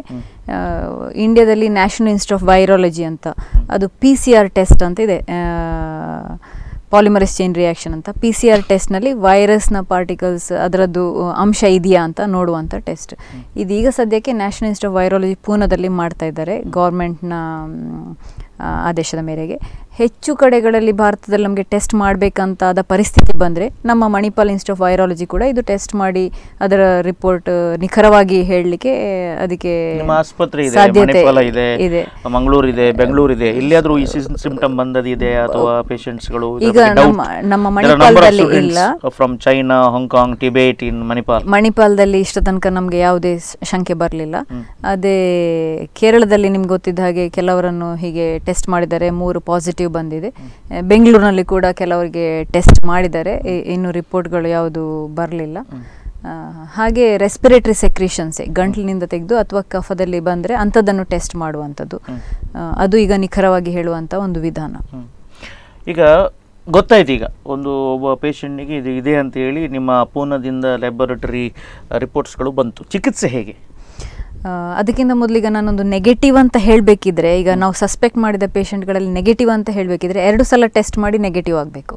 ಒಂದು ಸಲ ನೆಗೆಟಿವ್ ಬಂದರೆ ನಾವು ನೆಗೆಟಿವ್ ಅಂತ ಹೇಳೋದಿಲ್ಲ. ಅದು ಖಚಿತವಾಗಿ ನೆಗೆಟಿವ್ ಆಗಬೇಕಂದ್ರೆ ಎರಡು ಸಲ ಟೆಸ್ಟ್ ಮಾಡಬೇಕು.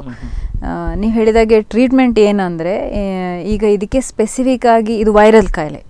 ಇದಕ್ಕೆ ಸ್ಪೆಸಿಫಿಕ್ ಆಗಿ ಆ್ಯಂಟಿವೈರಲ್ ಇಲ್ಲ ಯಾವುದೇ. ಆದರೆ ಆಸ್ಟ್ರೇಲಿಯಾದವರು ಕಂಡುಹುಡುಕಿದ್ರು ಅಂತ ಹೇಳಿ ಮೊನ್ನೆ ಎಲ್ಲ ನ್ಯೂಸ್ನಲ್ಲಿ ಬಂದಿತ್ತು. ಇಲ್ಲ ಅವರೆಲ್ಲ ಟ್ರೈ ಮಾಡ್ತಾ ಇದ್ದಾರೆ ವ್ಯಾಕ್ಸಿನ್ ಡೆವಲಪ್ ಮಾಡಲಿಕ್ಕೆ ಟ್ರೈ ಮಾಡ್ತಾ ಇದ್ದಾರೆ ಯಾರಿಗೂ ಕೂಡ ಇಷ್ಟು ತನಕ ಯಾವುದೇ ಆಂಟಿ ವೈರಲ್ ಇಫೆಕ್ಟಿವ್ ಆಗಿ ಬರಲಿಲ್ಲ. ಅದಕ್ಕೆ ನಾವು ಸಪೋರ್ಟಿವ್ ಯಾವ ಸಿಂಪ್ಟಮ್ಸ್ ಇದೆ ಅವರಿಗೆ ಜ್ವರ ಇದ್ರೆ ಜ್ವರಕ್ಕಿರುವ ಟ್ರೀಟ್ಮೆಂಟ್ ಕೊಡ್ತೇವೆ ಕೆಮ್ಮ ಇದ್ರೆ ಕೆಮ್ಮಕ್ಕಿರುವಂಥ ಟ್ರೀಟ್ಮೆಂಟ್ ಕೊಡ್ತೇವೆ ಮತ್ತೆ ಅತಿಯಾಗಿ ನಿಮೋನಿಯಾ ಆದರೆ ಎ ಆರ್ ಡಿ ಎಸ್ ಅಂತಾದರೆ ನಾವು ಆರ್ಟಿಫಿಷಿಯಲ್ ಆಗಿ ವೆಂಟಿಲೇಷನ್ ತನಕ ಮಾಡ್ಬೋದು ವೆಂಟಿಲೇಟರ್ ಮೇಲೆ ಹಾಕ್ಬೋದು ಅಥವಾ ಆಕ್ಸಿಜನ್ ಕೊಡ್ಬೋದು. ಕೆಲವರಿಗೆ ಕಿಡ್ನಿ ಫೇಲಿಯರ್ ಇದೆ ಅಂತ ಆದರೆ ಕಿಡ್ನಿಗೆ ಡಯಾಲಿಸಿಸ್ ಕೂಡ ಮಾಡಬೇಕಾಗ್ಬೋದು. ಅಂದರೆ ಇಂಟೆನ್ಸಿವ್ ಕೇರ್ ಯೂನಿಟ್ನಲ್ಲಿ ಇಟ್ಕೊಂಡು ಟ್ರೀಟ್ಮೆಂಟ್ ಕೊಡುವ ಸಂದರ್ಭ ಬರ್ಬೋದು. ಆದರೆ ಕೂಡ ಈಗ ಈಗಿನ ಮಟ್ಟಿಗೆ ಸ್ಪೆಸಿಫಿಕ್ ಆ್ಯಂಟಿವೈರಲ್ ಡ್ರಗ್ ಅಂತ ಇಲ್ಲ ನಮಗೆ. ಅದೇ ಈಗ ಕ್ವೆಶನ್ ಅಂದರೆ ಈಗ ಆ್ಯಂಟಿಬಯೋಟಿಕ್ ಬೇಕಾ? ಆ್ಯಂಟಿಬಯೋಟಿಕ್ ಏನಾದರೂ ಪ್ರಯೋಜನ ಆಗ್ಬೋದಾ ಅಂತ. ಆ್ಯಂಟಿಬಯೋಟಿಕ್ ವೈರಲ್ಸ್ ಕಾಯಿಲೆಗಳಿಗೆ ಪ್ರಯೋಜನ ಆಗೋದಿಲ್ಲ.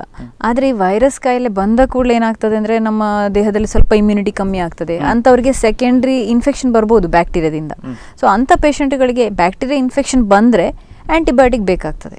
ಬಟ್ ಜನರಲಿ ಈಗ ಆಂಟಿಬಯೋಟಿಕ್ ಕೊಡೋದ್ರಿಂದ ಇದು ಕಮ್ಮಿ ಆಗೋದಿಲ್ಲ. ವೈರಸ್ ಕಾಯಿಲೆ ಕಮ್ಮಿ ಆಗೋದಿಲ್ಲ. ಬಟ್ ವೈರಸ್ ಕಾಯಿಲೆ ಜೊತೆ ಬ್ಯಾಕ್ಟೀರಿಯಲ್ ಇನ್ಫೆಕ್ಷನ್ ಬಂದು ಬರುವ ಚಾನ್ಸಸ್ ಇದೆ. ಅಂತ ಪೇಷಂಟ್ಗಳಿಗೆ ಅಂತ ಪೇಷಂಟ್ಗಳಿಗೆ ಆಂಟಿಬಯೋಟಿಕ್ ಬೇಕಾಗ್ಬೋದು. ಈಗ ನೀವು ಸರಿ ಚೈನಾಕ್ಕೆ ಹೋಗಬೇಡಿ ಅಂತ ಹೇಳ್ಬೋದು. ಈಗ ಹೋಗುವವರು ಬರುವವರು ಏರ್ಪೋರ್ಟ್ನಲ್ಲಿ ನಮ್ಮ ನಿಮ್ಮಾಗಿ ಕೆಲಸ ಮಾಡುವವರು ಇದ್ದಾರೆ ಅಧಿಕಾರಿಗಳಿದ್ದಾರೆ. ನಾನು ಇವತ್ತೊಂದು ವಿಡಿಯೋ ನೋಡಿದೆ.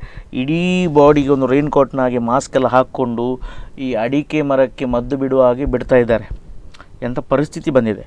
ಈಗ ನಿಮ್ಮ ಕಡೆಗೆ ಒಂದು ಪೇಷಂಟ್ ಬರ್ಬೋದು. ನೀವು ಇಂಟೆನ್ಸಿವ್ ಕೇರ್ ಯೂನಿಟ್ನಲ್ಲಿ ಡ್ಯೂಟಿಯಲ್ಲಿ ಇರ್ಬೋದು. ಏರ್ಪೋರ್ಟ್ನ ಅಧಿಕಾರಿಗಳು ಅಥವಾ ವೈದ್ಯಾಧಿಕಾರಿಗಳು ನಿಮ್ಗೆ ಎಷ್ಟು ಪರ್ಸೆಂಟ್ ರಿಸ್ಕ್ ಇದೆ ಅಂತ ಕೇಳೋದು ನಾವು? ಈಗ human to human transmission risk ಇದೆ ಅಂತ ಹೇಳಿದಲ್ವಾ? ಸೊ ಹಾಗಾಗಿ ಈಗ ನಾವು ಪೇಷಂಟ್ ಹತ್ರ ಸಸ್ಪೆಕ್ಟೆಡ್ ಪೇಷಂಟ್ಸ್ ಇದ್ದರೂ ಅವರನ್ನು ಹಿಸ್ಟ್ರಿ ಮಾತಾಡುವಾಗ ಕೂಡ ನಾವು ಮಾಸ್ಕ್ ಹಾಕ್ಕೊಳ್ಬೇಕು ಡೆಫಿನೆಟ್ಲಿ ಮಾಸ್ಕ್ ಹಾಕ್ಕೊಳ್ಬೇಕು ಅವರನ್ನು ಮುಟ್ಟಿ ಪರೀಕ್ಷೆ ಮಾಡೋದಾದರೆ ಅದಕ್ಕೆ ತಕ್ಕಂಥ ಇದನ್ನು ಗೌನ್ಗಳನ್ನೆಲ್ಲ ಹಾಕ್ಕೊಳ್ಬೇಕಾಗ್ಬೋದು ಆ, ಅದೇ ನಾವು ಸ್ಯಾಂಪಲ್ಸ್ ರೆಸ್ಪಿರೇಟ್ರಿ ಸ್ಯಾಂಪಲ್ಸ್ ತೆಗೆಯುವಾಗ ಅಥವಾ ಅವರನ್ನು ವೆಂಟಿಲೇಟರ್ ಮೇಲೆಲ್ಲ ಹಾಕುವಾಗ ನಾವು ಕಣ್ಣಿಗೆ ಕೂಡ ಗಾಗಲ್ಸ್ ಹಾಕ್ಕೊಂಡ್ಬಿಟ್ಟು. ಗೌನ್ ಎಲ್ಲ ಹಾಕ್ಕೊಂಡ್ಬಿಟ್ಟು ಮಾಸ್ಕ್ ಹಾಕ್ಕೊಂಡ್ಬಿಟ್ಟು ಮಾಡಬೇಕಾಗ್ತದೆ. ಯಾಕೆಂದರೆ ನಾವು ಹೇಳಿದಾಗೆ ಈಗ ಕೆಮ್ಮ ಬಂತು ಅಂತ ನಡ್ಕೊಳ್ಳಿ. ಆಗ ಗಂಟ್ಲನ್ನ ಮುಟ್ಟಿ ನಾವು ಸ್ಯಾಂಪಲ್ ತೆಗೆಯುವಾಗ ಅವ್ರು ಕೆಮ್ಮೆ ಕೆಮ್ತಾರೆ. ಆಗ ಕೆಮ್ಮುವಾಗ ಆ ಸ್ಪ್ರೇ ಎಲ್ಲ ಡಾಕ್ಟರ್ನ ಮುಖದ ಮೇಲೆ ಬೀಳುವ ಚಾನ್ಸ್ ಇದೆ ಸ್ವಲ್ಪ. ನಮ್ಮ ಕಣ್ಣಿಗೆ ಕಾಣದಂಥ ಡ್ರಾಪ್ಲೆಟ್ಸ್ ಬರುವ ಚಾನ್ಸ್ ಇದೆ. ಹಾಗಾಗಿ ಸರಿಯಾದ ಮಾಸ್ಕ್ ಮತ್ತು ಗೌನ್ ಮತ್ತು ಗಾಗಲ್ಸ್ ಕಣ್ಣಿನ ಪ್ರೊಟೆಕ್ಷನ್ ಯಾಕೆಂದರೆ ಕಣ್ಣಿನಲ್ಲಿರುವ, ಕಣ್ಣಿಗೆ ಕೂಡ ಸ್ಪ್ರೇ ಆದರೆ ಅಲ್ಲಿಂದ ಕೂಡ ವೈರಸ್ ಹರಡುವ ಚಾನ್ಸ್ ಈಗ ಇನ್ನೊಂದು ಸುದ್ದಿ ಬಂದಿತ್ತು. ಆಯುರ್ವೇದದಲ್ಲಿ ಮೆಡಿಸಿನ್ ಇದೆ ಅಂತೇಳಿ. ಮತ್ತು ಹಿಂದೂ ಸಭಾದ ಮಹಾಂತರು ಹೇಳ್ತಾರೆ, ಗೋಮೂತ್ರದಲ್ಲಿ ಮತ್ತು ಸೆಗಣಿಯಲ್ಲಿ ಇದರ ಬಗ್ಗೆ ಹತೋಟಿ ಮಾಡ್ಬೋದು ಅಂತೇಳಿ. ಇದೆಲ್ಲ ಸುಳ್ಳು ಸುದ್ದಿಗಳು ಹರಡ್ತವೆ ಅಥವಾ ನಿಜವಾಗಿ ಆಯುರ್ವೇದಿಕ್ನಲ್ಲಿ ಇದೆ, ಇದೆಯಾ? ಇಲ್ಲ ನನ್ನ ಮಟ್ಟಿಗೆ ನಮ್ಮ ಮಟ್ಟಿಗೆ ವಿಜ್ಞಾನದ ಮಟ್ಟಿಗೆ ಈಗ ಯಾವುದೇ ಆ್ಯಂಟಿವೈರಲ್ ನಮ್ಮದರಲ್ಲಿಲ್ಲ. ಹಾಗೆ ಮತ್ತು ನಾವು ಎವಿಡೆನ್ಸ್ ಇಲ್ಲದೆ ಯಾವುದೇ ಟ್ರೀಟ್ಮೆಂಟನ್ನು ಅದು ವರ್ಕ್ ಆಗ್ತದೆ ಅಂತ ಹೇಳಲಿಕ್ಕಾಗೋದಿಲ್ಲ. ಈಗ ನಾನು ಹಾಗಲ್ಲ ಈಗ ಡೆಂಗು ಬಂದಾಗ ಪ್ಲೇಟ್ಲೆಟ್ಸ್ ಎಲ್ಲ ಕಡಿಮೆ ಆಗುವಾಗ ಸಾಮಾನ್ಯವಾಗಿ ಪಪ್ಪಾಯಿ ಗಿಡದ ಎಲೆಯ ಅದರ ಜ್ಯೂಸನ್ನು ಕುಡಿಯಬೇಕು ಅಂತ ಹೇಳ್ತಿದ್ರು. ಸಾಮಾನ್ಯವಾಗಿ ಕುಡಿದ್ರು ಕೆಲವರು. ಕೆಲವರಿಗೆ ಅದು ಸರಿಯಾಯಿತು ಕಡಿಮೆ ಆಯಿತು ಅಂತ ಹೇಳ್ತಾರೆ. ಇಲ್ಲಿ ಅದೊಂದು ಕನೆಕ್ಟಿವಿಟಿ ಇಲ್ಲ ಅದೇನಂದ್ರೆ ಈಗ ಕೆಲವು ಪೇಷಂಟ್ಗಳು ತುಂಬ ಪೇಷಂಟ್ಗಳು ಒಂದು ಕಾಯಿಲೆ ಬಂದ ಕೂಡಲೇ ಅದು ನಮ್ಮ ದೇಹದ ಹತೋಟಿಗೆ ಬರ್ತದೆ ಸ್ವಲ್ಪ ಸಮಯದಲ್ಲಿ. ಯಾವುದೇ ಸ್ಪೆಸಿಫಿಕ್ ಆ್ಯಂಟಿವೈರಲ್ ಇಲ್ಲದಿದ್ದರೂ ಕೂಡ ನಮ್ಮ ದೇಹದಲ್ಲಿ ಸ್ವಲ್ಪ ಪವರ್ ಇರ್ತದೆ. ಸೊ ಅದು ನಿಧಾನಕ್ಕೆ ಅದು ವೈರಸ್ ಅನ್ನು ಕಂಟ್ರೋಲ್ಗೆ ತಂದು ಪೇಷಂಟ್ನ ಗುಣಮುಖ ಆಗ್ತಾರೆ. ಅಂಥವ್ರಿಗೆ ನೀವು ಇಂಥದ್ದೇನಾದರೂ ಟ್ರೀಟ್ಮೆಂಟ್ ಕೊಟ್ಟರೆ ಸೊ ಜನರೇನು ಹೇಳ್ತಾರೆ ಕೊಟ್ಟವ್ರು ಇದರಿಂದಾಗಿ ಹೇಳ್ತಾರೆ ಇದರಿಂದಾಗಿ ಗುಣ ಆದದ್ದು ಅಂತ. ಅದು ಖಂಡಿತ ಹಾಗೆ ಸರಿಯಲ್ಲ. ಅದು ದೇಹದ ತನ್ನ ಶಕ್ತಿಯಿಂದವೇ ಗುಣ ಆಗುದು. ಈಗ ನಾವು ಅದನ್ನು ಕೊಡದಿದ್ರೂ ಕೂಡ ಕ್ರಮೇಣವಾಗಿ ದೇಹ ಕಂಟ್ರೋಲ್ಗೆ ತಕೊಂಡ್ಬಿಟ್ಟು ಆ ವೈರಸ್ನ ಮೇಲೆ ಹತೋಟಿ ಸಾಧಿಸಿ ಪೇಷಂಟ್ ಇಂಪ್ರೂವ್ ಆಗ್ತಾರೆ. ಸರಿ ಈಗ ಮುಂಜಾಗ್ರತಾ ಕ್ರಮ ಏನು ನಾವು ಕೈಗೊಳ್ಳಬೇಕು? ಈಗ ಆನಿಮಲ್ ಹತ್ರ ಹೋಗಬಾರ್ದು ಅಂತ. ನನಗೆ ದನ ಇದೆ ಹಾಲು ಕರೀಲಿಕ್ಕೆ ಇದೆ ದನವನ್ನು ಮಾರೋದಾ ಈಗ? ಇಲ್ಲ ಇಲ್ಲ. ಅದರಿಂದ ನಮ್ಗೀಗ ಯಾವುದೇ ಎವಿಡೆನ್ಸ್ ಇಲ್ಲ. ದನ ಮುಟ್ಟಿದ್ರೆ ಈ ವೈರಸ್ ಬರ್ತದೆ ಅಂತ ಅಲ್ಲ. ಹಾಗಾಗಿ ಬಾವಲಿಯಿಂದ ಅಂತ ಹೇಳಿದ್ರು ನಿಫಾ ಮತ್ತು ಇದಕ್ಕೆ ಹತ್ತಿರದ. ಬಾವಲಿಯಿಂದ ಇರುವ ಚಾನ್ಸಸ್ ಇದೆ. ಬಾವಲಿಯಿಂದ ಇರುವಂತ ಚಾನ್ಸಸ್ ಇದೆ. ನಾನು ಹೇಳಿದಾಗೆ ಯಾವುದೇ ಪ್ರಾಣಿಗಳನ್ನು ಇಂಥ ಪ್ರಾಣಿಗಳು ಬಾವಲಿಗಳೆಲ್ಲ ನಮ್ಮ ಪೆಟ್ ಆನಿಮಲ್ಸ್ ಅಲ್ವೇ ಅಲ್ಲ. ಸೊ ಅಂಥದ್ದನ್ನೆಲ್ಲ ಮುಟ್ಲಿಕ್ಕೆ ಹೋಗುದು ಹೋಗಬಾರ್ದು. ಮತ್ತೆ ಯಾವುದೇ ಪ್ರಾಣಿಗಳನ್ನು ಇಂಥ ಪ್ರಾಣಿಗಳನ್ನು ನಾವು ಮುಟ್ಟುದಾದ್ರೆ ಗ್ಲೌಸ್ ಹಾಕಿಕೊಂಡು ಮುಟ್ಟುದು ಒಳ್ಳೇದು. ಡೈರೆಕ್ಟ್ ಕೈಯಲ್ಲಿ ಮುಟ್ಟದೆ ನಾನು ಹೇಳ್ತಾ ಇರೋದು. ಅಥವಾ ನಾವು ಯಾವುದೇ ಸಂದರ್ಭದಲ್ಲಿ ಪ್ರಾಣಿಗಳನ್ನು ಮುಟ್ಟಿದ್ರೆ ಚೆನ್ನಾಗಿ ಕೈ ತೊಳಿಬೇಕು ಇಮಿಡಿಯೇಟ್ಲಿ ದನ ಕರು ನೀವು ಹಾಲು ಕರೆದ್ರೆ ಕೂಡ ಚೆನ್ನಾಗಿ ಕೈ ವಾಶ್ ಮಾಡಿಯೇ ನಮ್ಮ ಮುಖವನ್ನು ಮುಟ್ಟಬೇಕು ಯಾವುದೇ ಕಾರಣಕ್ಕೆ ನಮ್ಮ ಮುಖವನ್ನು ಮುಟ್ಟುದು ಅದೆಲ್ಲ ಸರಿಯಲ್ಲ. ಮತ್ತೆ ರೋಗಿಗಳು ಈ ಕೈ ತೊಳೆಯುವಂತ ವಿಚಾರ ಸಣ್ಣದಿಂದಾಗಿ ಮಕ್ಕಳಲ್ಲಿ ಇದು ತಾಯಂದಿರಾಗ್ಲಿ ಅಥವಾ ಅವರನ್ನ ನೋಡಿಕೊಳ್ಳುತ್ತಿರುವಂತ ಶಿಕ್ಷಕರಾಗ್ಲಿ ಇದು ಕೈ ತೊಳೆಯುವ ವಿಚಾರದಲ್ಲಿ ಬಹಳ ಹಿಂದೆ ಭಾರತೀಯರು. ಈ did you wash your hand ಅಂತೇಳಿ ಒಂದು ಆಂದೋಲನವೇ ಪ್ರಾರಂಭ ಹ್ಯಾಶ್ಟ್ಯಾಗ್ನಿಂದ ಪ್ರಾರಂಭಗೊಂಡಿತ್ತು. ಕೈ ತೊಳೆದ್ರ ಅಂತೇಳಿ. ಕೈ ತೊಳೆಯುವ ವಿಧಾನ ಕೂಡ ತಪ್ಪಾಗಿದೆ ನಮ್ದು. ನಾವು ಕೇವಲ ನೀರಿನಲ್ಲಿ ತೊಳಿತೇವೆ ಆಕ್ಚುಲಿ ಸಾಬೂನ್ ಹಾಕಿ ತೊಳಿಬೇಕು. ಸಾಬೂನ್ ಹಾಕಿ ತೊಳಿಬೇಕು. ನೀರು ಸಾಬೂನ್ ಹಾಕಿ ತೊಳಿಬೇಕು. ಕೈಗೆ ಏನಾದರೂ ಕಾಣುವ ಹಾಗೆ ತೊಂದರೆ ಆದರೆ ಅಥವಾ ನಾವು ಪ್ರಾಣಿಗಳನ್ನು ಮುಟ್ಟಿದ್ರೆ ನಮ್ಮ ಟಾಯ್ಲೆಟ್ಗೆ ಹೋಗಿ ಬಂದ ನಂತರ ಅಥವಾ ಫುಡ್ ತಕೊಳ್ಳೋದಕ್ಕಿಂತ ಮೊದಲು ಅಥವಾ ನಾವು ಅಡಿಗೆ ಮಾಡೋದಕ್ಕಿಂತ ಮೊದಲು ಮಾಡ್ತಾ ಇರುವಾಗ ಮಧ್ಯ ಮಧ್ಯದಲ್ಲಿ ಮಾಡಿ ಆದ ನಂತರ ಎಲ್ಲ ಟೈಮ್ನಲ್ಲೂ ಕೈ ತೊಳೆಯೋದು ಭಾರಿ ಇಂಪಾರ್ಟೆಂಟ್ ಸೊ ಅದು ಯಾಕೆಂದರೆ ಈಗ ನಾವು ಒಂದು ಇದು ಬರೀ ಕೊರೋನಾ ವೈರಸ್ಗೆ ಅಂತಲ್ಲ ಯಾವುದೇ ಬೇರೆ ಸುಮಾರು ಬ್ಯಾಕ್ಟೀರಿಯಾ ಇನ್ಫೆಕ್ಷನ್ ಇರ್ಬೋದು ವೈರಸ್ ಇನ್ಫೆಕ್ಷನ್ ಇರ್ಬೋದು. ಅದರಿಂದ ಬೇರೆ ಬೇರೆ ಟೇಬಲ್ ಮೇಲೆ ಕೆಲವು ಎಂಜಲ್ ಕಣ ಬಂದಿರ್ಬೋದು ಅಥವಾ ಟ್ಯಾಪ್ ಟ್ಯಾಪ್ ಇರ್ಬೋದು ಅಥವಾ ಹ್ಯಾಂಡಲ್ ಇರ್ಬೋದು. ಹಾಗಾಗಿ ನಾವು- ಕಣ್ಣಿನ ಇದು ಬರುತ್ತಲ್ವಾ? ಕಂಜಂಕ್ಟಿವೈಟಿಸ್ ಅದು ಎಲ್ಲ ಹಾಗೆ ಹೌದು ಹೌದು. ಈಗ ಬೇರೆಯವರು ನೋಡಿದ್ರೆ ಬರುವುದಿಲ್ಲ? ನೋಡಿದ್ರೆ ಬರುತ್ತೆ ನೋಡಿದ್ರೆ ಬರುವುದಿಲ್ಲ. ರೋಗಿ ಕೈಯಿಂದ ಮುಟ್ಟಿದ ಜಾಗದಿಂದ ನಾವು ಡೈರೆಕ್ಟ್ ಆಗಿ ಮುಟ್ಟಿ ನಮ್ಮ ಕಣ್ಣನ್ನು ಮುಟ್ಟಿದ್ರೆ ಅದು ಬರುವಂತದ್ದು ಸೊ ಹಾಗಾಗಿ ನಾವು ನಮ್ಮ ಆದಷ್ಟು ನಮ್ಮ ಮುಖವನ್ನು ನಾವು ಮುಟ್ಕೊಳ್ಬಾರ್ದು. ಮುಖ ಮೂಗು ಕಣ್ಣು ಬಾಯಿಯನ್ನು ಆದಷ್ಟು ಸುಮ್ಮನೆ ಸುಮ್ಮನೆ ಮುಟ್ಬಾರ್ದು. ಮುಟ್ಟುದಿದ್ರೆ ನಾವು ಕೈ ತೊಳೆದೇ ಮುಟ್ಬೇಕು. ಬೇರೆ ಏನೆಲ್ಲ ಮುಂಜಾಗ್ರತಾ ಕ್ರಮ ಇದೆ? ಒಂದು ಕೈ ತೊಳಿಬೇಕು. ಒಂದು. ಡಿಸ್ಟೆನ್ಸ್ ಅನ್ನ ಮೇಂಟೈನ್ ಮಾಡಬೇಕು. ಮತ್ತೆ ಅವರನ್ನ ಮತ್ತೆ ಈಗ ರೋಗಿಗಳ ಹತ್ರ ನಾವು ಹೋಗಿ ಇರಬಾರ್ದು ರೋಗಿಗಳನ್ನು ನಾವು ಎಲ್ಲಿಯಾದ್ರೂ ಒಟ್ಟಿಗೆ ಇರುವ ಸಂದರ್ಭ ಬಂತು ಅಂದ್ರು ಸ್ವಲ್ಪ ದೂರದಲ್ಲಿ ಇರಬೇಕು. ಒಂದು ಎರಡು ಮೀಟರ್ ಡಿಸ್ಟೆನ್ಸ್ ಇಟ್ಕೊಳ್ಬೇಕು. ಆದಷ್ಟು ರೋಗಿ ಇರುವಾಗ ರೋಗಿಗಳು ಕೂಡ ಜಾಗ್ರತೆ ಮಾಡಬೇಕು. ಮನೆಯಲ್ಲಿ ಒಂದು ಕೋಣೆಯಲ್ಲಿ ಆದಷ್ಟು ಬೇರೆ ಇಡೀ ಮನೆಯ ಫ್ಯಾಮಿಲಿ ಮೆಂಬರ್ಸ್ನ ಒಟ್ಟಿಗೆ ಹತ್ರ ಮಿಂಗಲಾಗದೆ ಸಾಧಾರಣ ಇರುವಂಥದ್ದು ಒಂದು ಮನೆಯೊಳಗೆ ಇರುವಂಥದ್ದು ಹೊರಗೆ ಫಂಕ್ಷನ್ಗೆಲ್ಲ ಹೋಗಿ ಬೇರೆ ಹೆಚ್ಚು ಜನರೊಟ್ಟಿಗೆ ಕಾಂಟ್ಯಾಕ್ಟ್ ಮಾಡದೇ ಇರುವಂಥದ್ದು ಮತ್ತೆ ಅವರಿಗೆ ಕೆಮ್ಮು ಬಂದರೆ ರೋಗಿಗಳಿಗೆ ಅವರು ಅದನ್ನು ಜಾಗ್ರತೆ ಮಾಡಬೇಕು. ಅಂದರೆ ಒಂದು ಟಿಶ್ಯೂ ಯೂಸ್ ಮಾಡಬೇಕು ಕೆಮ್ಮುವಾಗ ಅಥವಾ ಸ್ನೀಸ್ ಮಾಡುವಾಗ ಸೀನುವಾಗ ಟಿಶ್ಯೂ ಇಟ್ಕೊಂಡು ಅದನ್ನು ಒಮ್ಮೆ ಹಿಡ್ಕೊಂಡ ನಂತರ. ಕೂಡಲೇ ಹಾಂ ಕೂಡಲೇ ಅದನ್ನು ಡಸ್ಟ್ಬಿನ್ಗೆ ಹಾಕ್ ಹಾಕಬೇಕು. ಇಲ್ಲಾಂದರೆ ನಮಗೆ ಕೈಯಲ್ಲಿ ಏನು ಖರ್ಚಿಫ್ ಇರಲಿಲ್ಲ ಅಂದ್ರೂ ಕೈ ತೋಳಿಗೆ ಕೈ ತೋಳಿಗೆ ಸಾಧಾರಣ ಸ್ಲೀವ್ ಇರ್ತದಲ್ಲ ಅಂಥದ್ದು ಆ ಜಾಗಕ್ಕಾದ್ರೂ ಸೀನ್ಬೇಕು ಅರ್ಜೆಂಟ್ ಕೈಗೆ ಏನು ಸಿಗ್ಲಿಲ್ಲ ಯಾಕಂದ್ರೆ ಸೀನು ಇಡುವಾಗ ಕಾಯ್ದುಕೊಂಡು ಕೂತ್ಕೊಳ್ಳಿ ಹೌದು, ಹುಡುಕ್ಲಿಕ್ಕೆ ಹೋಗ್ಲಿಕ್ಕೆ ಆಗುದಿಲ್ಲ. ಆಗ ನಾವು ಅಟ್ಲೀಸ್ಟ್ ಕೈಗೆ ಕೈಯ ತೋಳಿಗೆ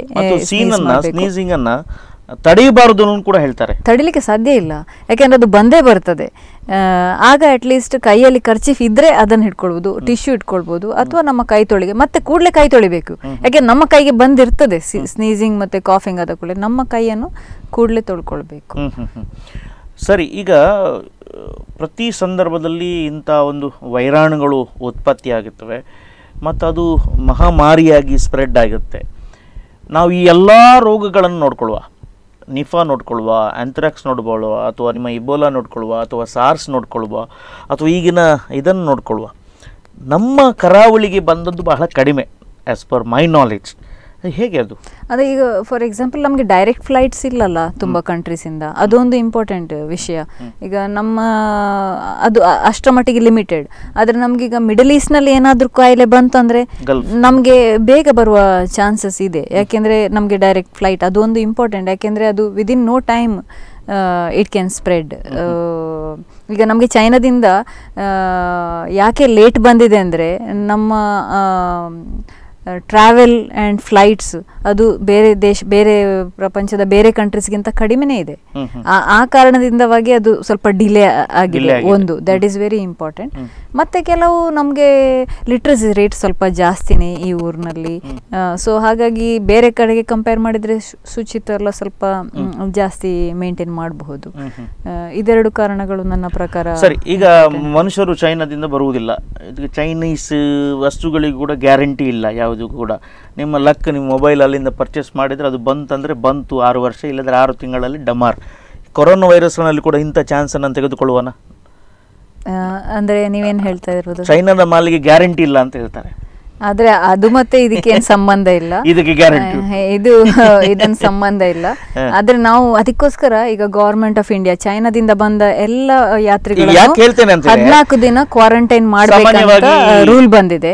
ಮತ್ತೆ ಈಗ ಇನ್ನೊಂದು ಅಡ್ವೈಸ್ ಏನ್ ಕೊಟ್ಟಿದ್ದಾರೆ ಅಂದ್ರೆ ಯಾರು ಇಂಡಿಯಾದಿಂದ ಚೈನಾಕ್ಕೆ ಆದಷ್ಟು ಹೋಗೋದಕ್ಕೆ ಇರ್ಬೇಕು. ಯಾಕೆಂದ್ರೆ ಹೋದವ್ರು ಮತ್ತೆ ವಾಪಸ್ ಬರ್ತಾರಲ್ವಾ? ಸೊ ಆದಷ್ಟು ನಮ್ಗೆ ಅಂತ ಅಗತ್ಯ ಅತಿ ಅಗತ್ಯ ಅತಿ ಅಗತ್ಯ ಇಲ್ಲದಿದ್ರೆ ನಾವು ಇನ್ನು ಮುಂದೆ ಹೇಳುವ ತನಕ ಚೈನಾಕ್ಕೆ ಟ್ರಾವೆಲ್ ರಿಸ್ಟ್ರಿಕ್ಷನ್ಸ್ ಹಾಕಿದ್ದಾರೆ ಗೌರ್ಮೆಂಟ್ ಅಂತೂ ಹೋದ್ರೆ ನೀವು ಬಂದಾಗ ಹದಿನಾಲ್ಕು ದಿನ ಕ್ವಾರಂಟೈನ್ ಇರಲಿಕ್ಕೆ ಇರ್ಲಿಕ್ಕೆ ರೆಡಿ ಇರಬೇಕಂತ ಗೌರ್ಮೆಂಟ್ ಆಫ್ ಇಂಡಿಯಾ ನಮ್ಮ ಪ್ರಶ್ನೆ ಯಾಕೆ ಕೇಳಿದೆ ಅಂತ ಹೇಳಿದ್ರೆ ಈಗ ನಾವು ಹೋಗ್ತಿಲ್ಲ. ಅನಗತ್ಯವಾಗಿ ನಾವು ಹೋಗ್ತಿಲ್ಲ ವಿದ್ಯಾರ್ಥಿಗಳೆಲ್ಲ ಬಂದಾಗಿದೆ. ಆದರೆ ಚೈನೀಸ್ ಗೂಡ್ಸ್ಗಳೆಲ್ಲ ಬರ್ತವೆ ಓಪನ್ ಮಾರ್ಕೆಟ್ನಲ್ಲಿ ಫ್ರೂಟ್ಸ್ ಬರುತ್ತೆ ಮೀಟ್ ಬರುತ್ತೆ. ಇದರಿಂದ ಏನಾದರೂ ಸ್ಪ್ರೆಡ್ ಆಗುವಂಥ ಚಾನ್ಸಸ್ ಇದೆಯಾ? ಯಾಕೆಂದರೆ ಇದರ ವೈರಸ್ ಎಷ್ಟು ಸಮಯ ಬಾಳ್ತದೆ ಅಂತೇಳಿ ನಿಖರವಾಗಿ ಯಾರಿಗೂ ಕೂಡ ಗೊತ್ತಿಲ್ಲ. ವಸ್ತುಗಳ ಮುಖಾಂತರ ಬರ್ಬೋದು ಮಾಂಸದ ಮುಖಾಂತರ ಬರ್ಬೋದು ಬಟ್ಟೆಗಳ ಮುಖಾಂತರ ಬರ್ಬೋದು ಅಥವಾ ಈ ಟಾಯ್ಸ್ಗಳ ಮುಖಾಂತರ ಬರ್ಬೋದು. ಚೈನಾ ಚೈನಾದಿಂದ ಸುಮಾರು ಎಲೆಕ್ಟ್ರಿಕ್ ಗ್ಯಾಜೆಟ್ಸ್ ಡಿವೈಸಸ್ಗಳೆಲ್ಲ ಬರ್ತವೆ. ನಿಮ್ಮ ಮೆಡಿಕಲ್ ಇನ್ಸ್ಟ್ರೂಮೆಂಟ್ಸ್ಗಳೆಲ್ಲ ಬರ್ಬೋದು. ಇದರಿಂದ ಈಗ ಈಗಿನ ಪ್ರಕಾರ ಅದರ ಅದ್ರ ಅದರದ್ದು ರಿಸ್ಟ್ರಿಕ್ಷನ್ಸ್ ಹಾಕ್ಬೋದು. ಯಾಕೆಂದರೆ ಮೀಟ್ ಅಂತೂ ಡೆಫಿನೆಟ್ಲಿ ಇಟ್ ಈಸ್ ರಿಸ್ಕಿ ಯಾಕೆಂದ್ರೆ ಇನ್ನೂ ಕೂಡ ಆನಿಮಲ್ ಸೋರ್ಸ್ ನಮಗೆ ಹುಡುಕಿ ಆಗಿಲ್ಲ. ಬೇರೆ ಗೂಡ್ಸ್ ಆದರೂ ಆ ರೀತಿಯ ರಿಸ್ಕ್ ಅಲ್ಲ. ಬಟ್ ಅದು ಅಂದರೆ ಹೀಗಿರುವ ಫೋಮೈಟ್ಸ್ ಅಂತ ಹೇಳ್ತೇವೆ ನಾವು. ಎಂಜಲ್ ಕಣ ಅದರ ಮೇಲೆ ಬಿದ್ದರೆ ಅದು ಎಷ್ಟು ಸಮಯ ಆಕ್ಟಿವ್ ಇರ್ತದೆ ಅಂತ ನಮಗೆ ಸರಿ ಗೊತ್ತಿಲ್ಲದ ಕಾರಣ ಸ್ವಲ್ಪ ರಿಸ್ಕ್ ಮೀಟ್ ಅಂತೂ ಡೆಫಿನೆಟ್ಲಿ ರಿಸ್ಕಿ ಅದು ಹಾಫ್ ಕುಕ್ಡ್ ಸರಿಯಾಗಿ ಕುಕ್ ಮಾಡದ ಮೀಟ್ ತೊಂದರೆ ಇರುವಂಥ ಮೀಟ್ನೊಟ್ಟಿಗೆ ಮಿಕ್ಸ್ ಮಾಡಿದರೆ ಅಥವಾ ಹತ್ತಿರದಲ್ಲಿ ಇಟ್ಟಿದ್ರೆ ಎಲ್ಲ ಒಂದಕ್ಕೊಂದು ಬರುವಂಥ ಚಾನ್ಸ್ ಹಾಗಾಗಿ ಈಗಂತೂ ಮೀಟ್ ಅನ್ಕುಕ್ ಮೀಟನ್ನು ಕಂಪ್ಲೀಟ್ಲಿ ಅವಾಯ್ಡ್ ಮಾಡೋದು ಒಳ್ಳೆಯದು ಸರಿ ಮಾಂಸ ಅಥವಾ ಟಿಫಿನ್ ಇದು ಟಿನ್ ಕ್ಯಾನ್ ಇಯರ್ನಲ್ಲಿ ಅನ್ಕುಕ್ಡ್ ಬೇಯಿಸದೇ ಇರುವಂಥದ್ದು ಸರಿ ಕೊನೆಯ ಒಂದು ನಿಮಿಷ ಇದೆ ಏನು ಹೇಳಲಿಕ್ಕೆ ಬಯಸ್ತೀರಿ ವೀಕ್ಷಕರಿಗೆ? ಸಾಧಾರಣ ಜ್ವರ ಇದ್ದರೆ ತಮ್ಮಷ್ಟೇ ತಮ್ಮಷ್ಟಕ್ಕೆ ಮನೆಯಲ್ಲಿ ಇರಬೇಕು. ಅಥವಾ ಜಾಸ್ತಿ ತೊಂದರೆ ಇದ್ದರೆ ಡಾಕ್ಟ್ರುಗಳನ್ನು ಕಂಡು ಸರಿಯಾದ ಮಾಹಿತಿ ಪಡ್ಕೊಂಡು ಸೆಲ್ಫ್. ಮೆಡಿಕೇಶನ್ ಬೇಡ. ಡಾಕ್ಟರ್ಗಳ ಹತ್ರ ಹೋಗಿ ಅವ್ರಿಗೆ ಸಿಂಪ್ಟಮ್ ಪ್ರಕಾರ ಏನು ಇದೆ ಅವರ ಟೆಸ್ಟ್ ಏನು ಹೇಳ್ತಾರೆ ಅದರ ಪ್ರಕಾರ ಟ್ರೀಟ್ಮೆಂಟ್ ಮಾಡೋದು ಒಳ್ಳೆಯದು ಈಗ actually H one N one ಎಲ್ಲ ಇರುವಂಥ ಟೈಮ್ ಹಾಗಾಗಿ ಟೆಸ್ಟ್ ಮಾಡಿಸ್ಕೊಳ್ಳೋದು ಒಳ್ಳೆಯದು ಸರಿ. ಆತ್ಮೀಯ ವೀಕ್ಷಕರೇ ಇಷ್ಟರವರೆಗೆ ಕೊರೋನಾ ವೈರಸ್ ಮಹಾಮಾರಿ ಇದರ ಬಗ್ಗೆ ಸ್ಪಷ್ಟ ನಮಗೆ ನಿಖರವಾದಂಥ ಮಾಹಿತಿಯನ್ನು ಕೊಟ್ಟಿದ್ದಾರೆ. ಅದು ಹೇಗೆ ಹರಡ್ತದೆ, ಯಾವ ರೀತಿಯ ಮಟ್ಟದಲ್ಲಿ ಇದೆ, ಎಷ್ಟು ಮಾರಣಾಂತಿಕ, ಯಾವ ರೀತಿಯ ಮುಂಜಾಗ್ರತೆ ಕ್ರಮವನ್ನು ವಹಿಸ್ಕೊಳ್ಬೇಕು, ಚಿಕಿತ್ಸೆ ಹೇಗೆ, ಮತ್ತು ಮಣಿಪಾಲ ಆಸ್ಪತ್ರೆ ಯಾವ ರೀತಿಯಲ್ಲಿ ಸ್ಪಂದಿಸ್ತದೆ. ಇದರ ಬಗ್ಗೆ ಸಮಗ್ರ ಮಾಹಿತಿಯನ್ನು ನಮ್ಮ ವೀಕ್ಷಕರಿಗೆ ಬಹಳ ಸರಳ ಮಾತಿನಲ್ಲಿ ತಿಳಿಸಿಕೊಟ್ಟಿದ್ದಾರೆ. ಮೇಡಮ್ ಕವಿತಾ ಸರಾವ್. ತಮಗೆ ವಂದನೆಗಳನ್ನು ಸಲ್ಲಿಸ್ತಾ ಇದ್ದೇನೆ ನಮಗೆ ಮಾಹಿತಿಯನ್ನು ಕೊಟ್ಟದ್ದಕ್ಕೆ. ಆತ್ಮೀಯ ವೀಕ್ಷಕರೇ, ಇದು ಇಂದಿನ ಸಿಕ್ಸ್ ಪಿ ಎಂ ಲೈವ್ ಮುಂದಿನ ಸೋಮವಾರ ಮತ್ತೊಂದು ವಿಚಾರದೊಂದಿಗೆ ಬರ್ತೇನೆ. ಅಲ್ಲಿವರೆಗೆ ನಮಸ್ಕಾರ.